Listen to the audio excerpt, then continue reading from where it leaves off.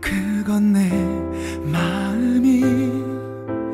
너에게로 점점 다가가는 것